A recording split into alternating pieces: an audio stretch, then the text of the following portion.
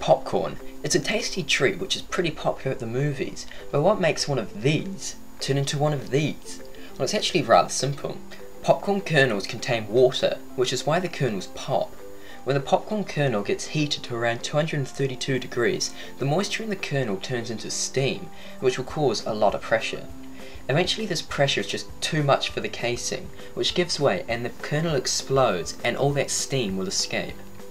The same is with potatoes, which if you put in the microwave will explode everywhere due to the buildup of pressure inside of the potato, since they contain a lot of water too. This leads on to the next point. Why do some not pop? If a popcorn kernel has a crack in the shell, it's not going to pop because the pressure is going to build up as much. This also happens with potatoes. We have to poke holes in potatoes to allow some of the steam to escape, which prevents the buildup of the pressure, which will cause the explosion. There is the other possibility that there's not enough moisture in the kernel, which will cause it to not turn into popcorn, but you'll usually find that it's just a small crack somewhere in the kernel, which is why it never popped. There's a great video by the Slow Mo guys which I recommend you check out. They've recorded a popcorn popping at 10,000 frames per second, and then slowed down the video 400 times. It shows the moisture escaping, cause the shell and the kernel to break.